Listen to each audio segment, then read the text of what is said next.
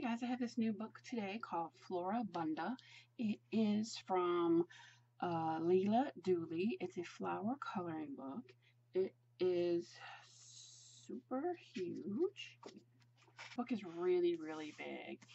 It is like um, 12 and a quarter by uh, like nine and a quarter so it's a pretty big book. But um, um, let me see.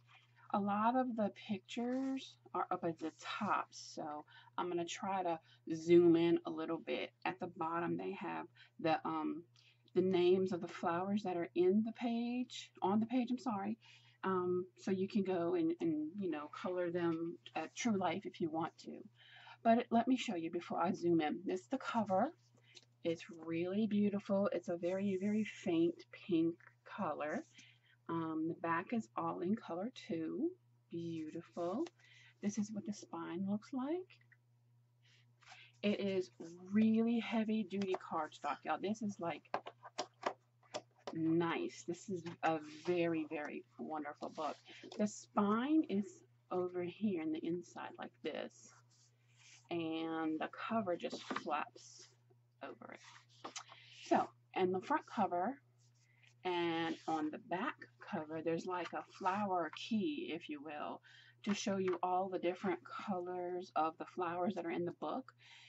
So, you know, I told you that they're at the bottom, the names of them, the dahlias and the roses or whatever, and you can come look at these for a reference, which I think is really, really good.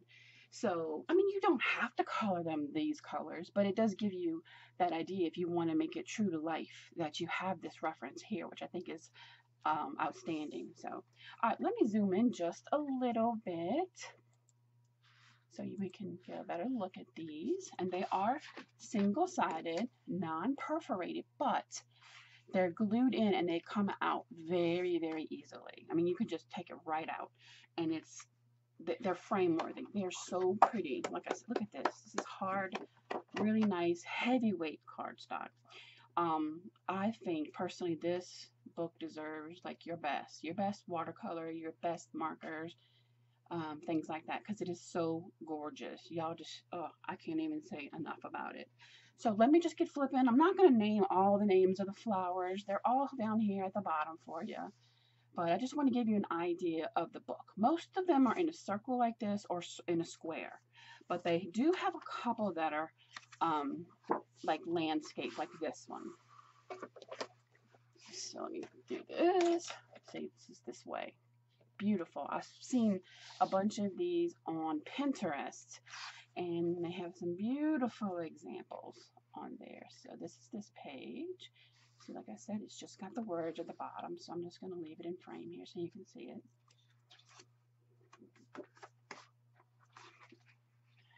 Some really beautiful, beautiful daisies on this page. Had the black background, which I really like. This is the one I started on. And for this, I use my Faber-Castell Art Grip Aquarelle watercolor pencils.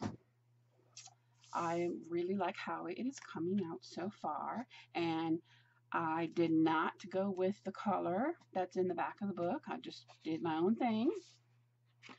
Um, here we go. Some beautiful poppies. Freesia. Oh, I love these lilies. So yeah, if you like and enjoy coloring flowers, this book is for you.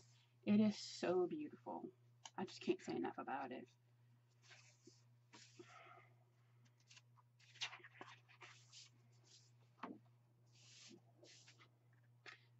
amaryllis. I have some of those in my yard. Isn't this gorgeous? I just think it screams watercolor or your um, alcohol markers Copics, things like that. I mean, you can totally do colored pencils, but I just think it would be a lot more time consuming because it is, you know, so intricately detailed. Here's another um, landscape one. Chrysanthemums. How beautiful. Oh, man. Honeysuckles in here. Just gorgeous. Yeah, that's one of the bigger ones. The landscape ones are like fit almost the entire page. So let's go back down here. Got sweet peas on this one. And here's the back of the book. Let me back up a little bit so you can see the whole thing. So yeah, isn't that beautiful? I love it. I think this book is so beautiful. Again, it's uh, Leila Duly, Floribunda. the cover, this is the back, and it is just stunning, you guys. I'm going to post a link down at the bottom where you can purchase this. And if you have any questions or comments, uh, leave it down at the bottom and I get back to you. And if you haven't hit that sub, please do. I would really appreciate it. Thanks for watching, guys. Um, talk to you soon. Bye-bye.